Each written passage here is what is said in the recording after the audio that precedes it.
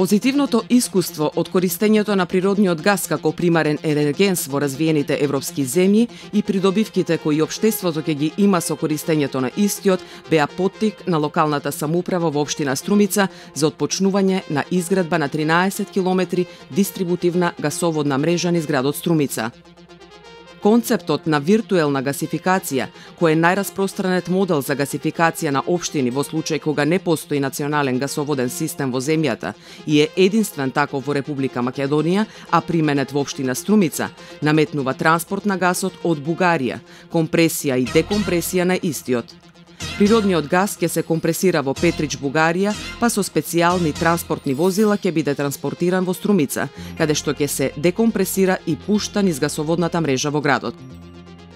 Компресираниот газ ќе биде доставен до локацијата на декомпресиската станица во Струмица со специјални мат модули, резервоари за газ или цилиндри во контейнерски модули, кои од транспортната приколка ќе бидат растоварени врз посебни платформи и приклучени на декомпресиската станица преку посебна гасоводна инсталација. Вкупниот волумен во еден модул за газ е 1500 нормални метри кубни газ со притисок од 250 бари. Во конкретниот случај, декомпресиската станица врши симнување на притисокот од 250 бари, колку што е притисокот во гасните модули на работниот притисок на градската дистрибутивна мрежа кој е 4 бари. Водени од специфичниот обштествен карактер на градот и задоволување на неговите енергетски потреби, Обштина Струмица преку формирање на јавното предпријатие Струмица Газ на 15 април 2011 година и официјално започна со изградба на 13 километри долгата гасоводна мрежа. Согласно планираните проекции, Гасоводниот цевковод беше поделен на 15 секции, преку кои се изврши опфат на целата територија на Струмица. Секција 1-2 со должина од 1300 метри, од Сачевски пат до улица Гоце Делчев. Секција 2-3 со должина од 720 метри се протега по булеварот Гоце Делчев до раскрсницата со улицата Климет Охридски – секција 313 со должина од 1200 метри се протега во индустријскиот дел на градот од раскрсницата на улицата Климент Охридски. Секција 216 со должина од 2025 метри се протега во индустријскиот дел на градот по улицата Климент Охридски и индустријската зона Север. Секција 3-4 со должина од 430 метри ја опфаќа улицата Климент Охридски од раскрсницата на секцијата 313 кај Жито Струмица до кракот с улицата Братство Единство и дел од улицата Младинска.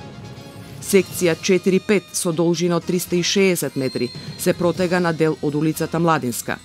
Секција 4-6 со должина од 300 метри се протега по улицата Климент Охридски и продолжува кон улицата Киро Минанов и дел од улицата Браќа Миладинови.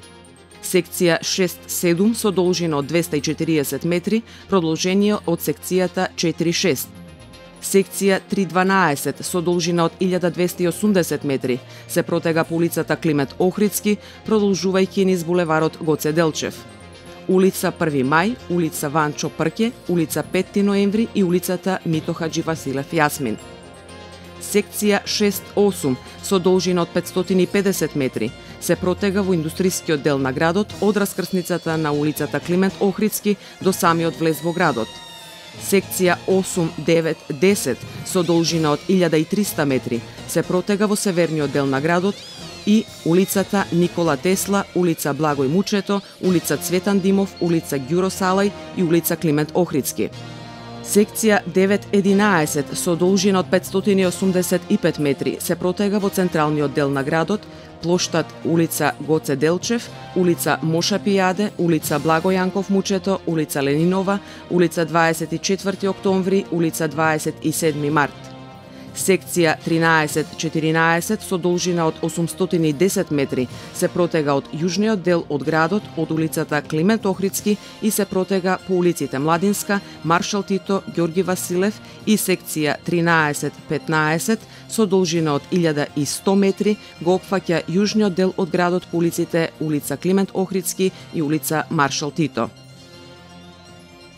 Изградбата на гасоводната мрежа се одвиваше според сите прописи за градење на ваков тип на гасоводи, што значи користење на полиетиленски цевки со највисок квалитет и стандарди, како што се P100, SDR11, ISO S5 и DFALVG. Во текот на изградбата во зависност од делниците, а според проектот, беа користени различни димензии на цевки со различни должнини, и тоа ФИ 63 400 метри, ФИ 90 2000 метри, ФИ 110 560 метри, ФИ 140 1700 метри, ФИ 160 1420 метри, ФИ 200 1150 метри, ФИ 250 2210 метри, ФИ 280 750 метри, ФИ 355 1975 метри. Употребата на големи димензии укажува на една голема придобивка. Имено со употребата на овие димензии во примарната мрежа, градот Струмица развојно за следните 50 до 70 години е потполно обезбеден со потребниот капацитет, што значи дека во наредниот период ќе се работи само на секундарната мрежа, тоест ширење и изградба на така наречени квартовни или малски делници кои се со помали димензии, ФИ 25, ФИ 32 и ФИ 1950. Во текот на изградбата беше запазен принципот земјено градежните работи да се одвиваат непрекинато и квалитетно, при што време траењето на ископите од нивното ископување до поставување на цевки, вентили, фитинзи и затрупување не надминуваше 48 часа. Покривањето со асфалт, односно поплочувањето, се вршеше во рок од најмногу 10 дена. На тој начин беа избегнати потешкотии за нормално и слободно движење на пешаците, како и нормално функционирање на сообраќајот. Земјано-градежните работи се изведуваа на три различни локации во ист момент, каде што беа вклучени по 15 работници на секоја локација. Особено се внимаваше гасоводната мрежа да биде на поголема длабочина, тоест под сета останата подземна инсталација, ЕВН, Телеком, Водовод и канализација, кабловски оператори и друго. Се со цел, кога би се вршело било каква интервенција, гасоводната мрежа би останала под нивните инсталации на ниво кое обезбедува да не дојде до штетување на истата. Со завршувањето на изградбата на гасоводната мрежа во ноември 2011 година се пристапи кон преадаптирање на сите котлари во општинските институции кои ќе бидат приклучени на мрежата, и тоа на три средни училишта, пет основни училишта, вклучувајќи го и музичкото училиште, зградата на општина Струмица, дом на Арама и четири детски градинки.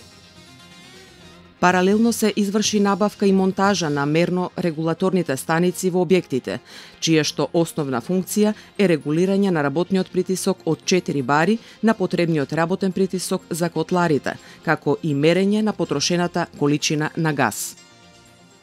Вкупната инвестиција на гасоводната мрежа во Струмица во оваа фаза изнесува 1 милион и 700 илјади евра. По завршувањето на сите градежни работи, а во согласност со законските регулативи, беше извршено испитување на гасоводната мрежа од релевантно инспекциско тело од Машинскиот факултет во Скопје. Испитувањето се изврши со воздух на притисок од 4 бари во време траење од 48 часа и при тоа беше констатирано дека нема никакви оштетувања на цевките, споевите и фазонските елементи. Поставените манометри на 8 мерни места не покажуваа никакви отстапувања, со што се утврди дека мрежата е градена квалитетно и според сите стандарди и норми за градење на ваков тип на гасоводи. Изградбата на секундарната мрежа продолжува на целата територија на општина Струмица, согласно потребите и побарувањата на потрошувачите на природен газ во градот.